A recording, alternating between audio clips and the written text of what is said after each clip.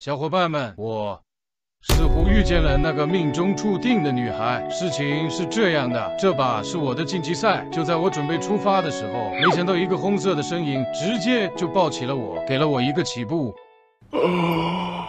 晋级赛还能碰见这么好的人，谢谢你的起步。没事，顺手了嘛。没想到他居然还跑到了我的前面，他真的好厉害呀！就这样，我们两个都到了终点。我看着他对我发射爱心，难道这就是一见钟情的感觉吗？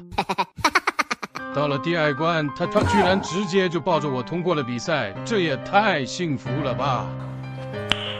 Nice. 于是，为了感谢他，我这一关也给了他一个起步。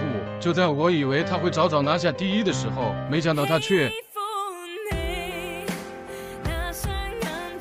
什么？他居然在等我！这一瞬间，我感觉我的心脏在不停的跳。难道这就是恋爱的感觉吗？到了决赛，我们两个人也是配合着，不断的淘汰别人。